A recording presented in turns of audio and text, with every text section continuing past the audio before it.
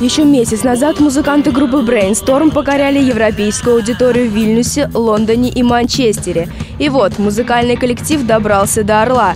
Brainstorm – латвийская рок-группа, которая была образована в 1989 году. Музыкальный послужной список у них впечатляющий.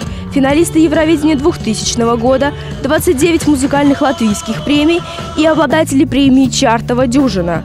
Перед концертом музыканты посетили студию «Экспресс Радио Орел», где ответили на вопросы слушателей. Орловчане задавали разные вопросы, начиная от любимых игрушек в детстве и заканчивая самыми опасными ситуациями в жизни музыкантов. Я бежал э, передавать привет своим сестрам, которые плавали. А трамполин, я не знал, что он настолько Кончится в какой-то момент. Да, да, да. Что я был маленьким, плавать не умел. Но я э, дальше пробежал. Но и потом, знаете, что помните? Если вы не умеете плавать, то и вспоминайте такие пузырьки, которые у вас между глазами вверх идут. Это уже второе выступление коллектива в Орле. Спустя три года мировые звезды вернулись в наш город. И почему Орел? Почему вы приехали к нам? Ну, а вы хотели, чтобы мы к журавлям поехали? Мы были только что в Обнинске, э, в Калуге, в Туле, сейчас Орел, Нижний Новгород. Мы с удовольствием едем. Места, где мы были, где мы не были. В Орле мы были один раз. В Калуге, например, первый раз выступали вчера.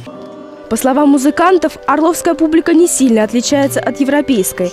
На вопрос, за что вы любите брейнсторм, орловчане отвечали по-разному. На самом деле я вообще не знаю даже группы, я пришел просто познакомиться. Maybe, maybe, все.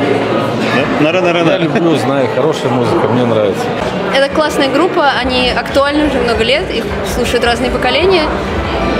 И у них приятная, добрая атмосфера во время концертов. Ой, они мне вообще нравятся. Все, все любимые композиции, поэтому я за ними стараюсь следовать. Концерт получился насыщенным. Музыканты исполняли как старые любимые песни, так и композиции из нового альбома. Что делаешь здесь?